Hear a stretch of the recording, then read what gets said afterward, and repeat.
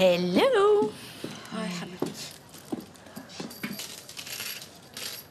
إيه مالكم فريدة معلش عندها حالات نفسية عشان الناس هتعرف إنها هتطلق إيه وطي صوت يا فريدة بطلي بقى اللي انت بتعمليه ده. الوضع اللي انت فيه انت والهبلة دي ما ينفعش يستمر.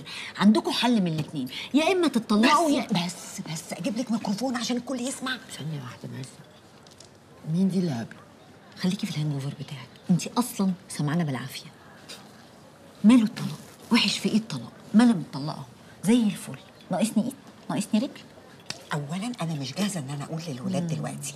وبعدين افرضي أنا وعمر رجعنا لبعض أدخلهم في مشكلة من الأول ليه؟ امم مبدئيا الولاد لازم يعرفوا ما ينفعش تخبي عليهم. ثانيا بقى أنت مش عايزة تقولي حد إنكم اتطلقتوا عشان الكتاب بتاعك هينزل فما تسعيش عليا.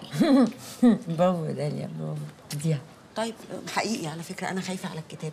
أخسر شغلي ليه يعني؟ يعني افرضي أنا وعمر اتطلقنا والكتاب فشل وبعدين رجعنا لبعض أكون أنا استفدت إيه بقى؟ أنت وعمر مش هترجعوا لبعض لأن أنا بيجي لي كيسز كتير جدا زيكم في المكتب. بيقعدوا سنين منفصلين على أمل إنهم يرجعوا لبعض وفي الآخر بيجوا يرفعوا قضية طلاق فأنتوا مش هترجعوا لبعض. وبعدين يا حبيبتي الوضع اللي أنت فيه ده وضع ظالم لأن أنت عايشة كده لكن هو عايش حياته كل يوم مع واحدة لأن كل الناس عارفة إن هو في break عادي يعمل اللي هو عايزه. أنا كده كده عارفة إن هو بيشوف ناس. okay يعني انت هتعيشي في دور الست المتجوزة وهو كل يوم داير في حتة شكل مع طارق. ترى ترى مين؟